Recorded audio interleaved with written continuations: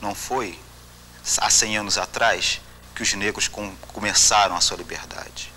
Essa resistência à luta dos negros já vem de bem antes, desde a África, desde a vinda da África para o Brasil.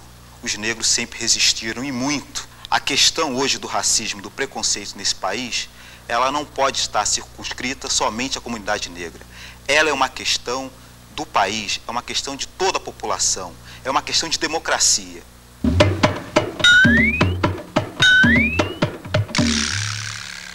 Ministério da Cultura. Centenário da abolição da escravatura.